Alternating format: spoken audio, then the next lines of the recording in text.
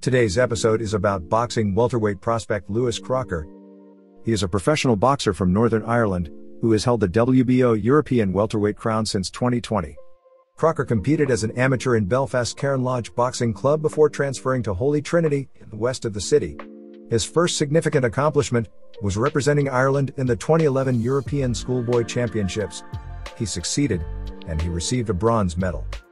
Lewis competed in 97 amateur matches, winning 90 of them. Along the way, he won seven Junior All Ireland Championships and represented Ireland at the 2013 World Junior Championships in Kiev, Ukraine, as well as the 2012 European Youth Championships in Sofia, Bulgaria. His fastest knockout was less than 12 seconds, which is the fastest knockout in Irish amateur boxing history. For this achievement, he received the 2015 Irish Boxing KO of the Year award. Welcome to Boxing Welterweight Prospects, where we will look at boxers from the welterweight division from all over the world. Are you ready? Let's continue. Crocker has been dreaming of becoming a professional boxer since he was a young boy. His sister Elena fought at the first ever female boxing match in Ireland. At the Glasgow 2014 Commonwealth Games, she took home the bronze medal. She is the one that brought Crocker to the Belfast East Side Boxing Club, where he learned the foundations of the sport. His big idol was Ricky Hatton. He enjoyed watching him fight and learned a lot from his moves in the process. Lewis Crocker is confident that his personal maturing will help him to be a better fighter inside the ring and will elevate him to the next level. Crocker, growing as a top amateur athlete from Northern Ireland, signed a management contract with Team MGM. The Belfast native competes in the welterweight division now that he has switched to the professional ranks. Crocker believes it will be better to make the transition to the professional ranks earlier in life. According to Crocker, his style of boxing is more suited for the pros than for the amateurs. He believes that switching at this stage means he'll learn his trade and be ready for when those big opportunities are presented. He now feels that everything is in place for his planned assault on big achievements in the upcoming years, and that he needs to be pushed hard in the gym. Here is a quick boxing fact. About the longest winning streak in the history of boxing. Counting down from number two on the list. Perhaps the greatest fighter to ever represent Mexico was Julio Cesar Chavez. Chavez, also known as El Gran Campeón Mexicano, was a formidable opponent in the ring. In 1981, he made his professional debut, defeating Bobby Fernandez by knockout. By the end of 1993, he earned three world championship titles, he ended his career in 2005 with a record of 107 wins, 6 losses, and 2 draws, 85 knockouts, and a winning streak of 89 bouts. And on the first place on our list, he still holds the record for the longest winning streak in boxing history, Jimmy Wilde. He made his professional debut in 1911 by knocking out Ted Roberts in three rounds, which would mark the start of the greatest run in boxing history. Jimmy Wilde, better known as the Mighty Atom, was known for his extraordinary strength in the lighter weight divisions. When Wilde lost to Tancy through technical knockout, his winning streak was over. Wilde officially ended his career in 1923 with an amazing winning streak of 93 bouts.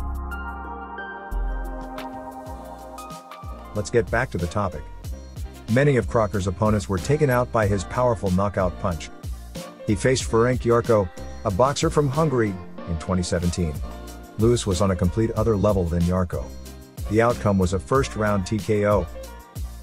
The Croc has defeated opponents with one punch walk off victories. This made the technical knockout in the second round against Bulgarian Radoslav Mitev. Nothing new for the Sandy Row youngster.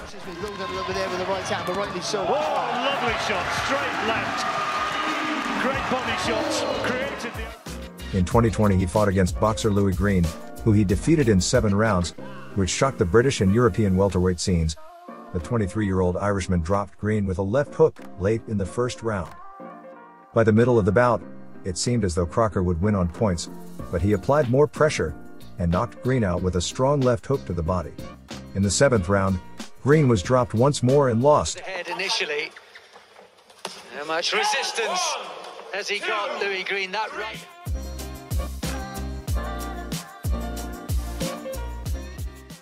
Let's take a look at Lewis Crocker's statistics.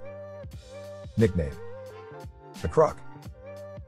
Fights in Welterweight.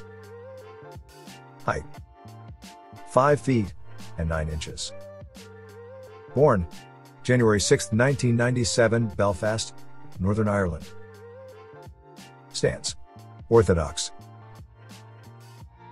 Boxing record Total fights 14. Wins 14.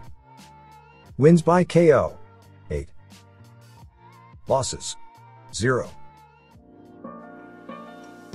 Crocker believes he will make significant progress since Coach Booth easily detected his flaws. Crocker said that Coach Booth has spotted a lot of bad habits and things he does that need changing. He says he'll improve as a fighter over time and as a boxer. Crocker has stated to just know that in the next year, he will be 10 times better than the Lewis Crocker right now. On Friday, November 5, 2022, Lewis Crocker defeated Armenian Artem Haroyan in the seventh round to successfully defend his WBO European welterweight title. The Belfast boxer set off the fireworks when he used a left hook to knock down his opponent in the sixth round. With fast hands. Oh, massive shot! That's huge Then a powerful body blow to end him in the seventh round. Oh, You did talk about Haroyan's engine and his fitness level. Oh, oh he's dropped again. The victory in his hometown improved the Crocs record to 14 to 0.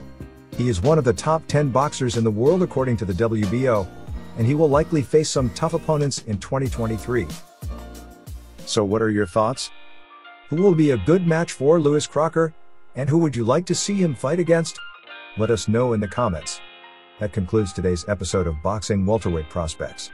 We hope you enjoyed the video. If you did, then click the like button and subscribe to our channel. Also don't forget to click the bell notification button to be among the first to receive new videos. We from Boxing Welterweight Prospects wish you a pleasant day.